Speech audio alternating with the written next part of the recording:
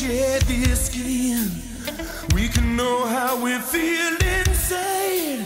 Instead of going down an endless road, not knowing if we did or lied.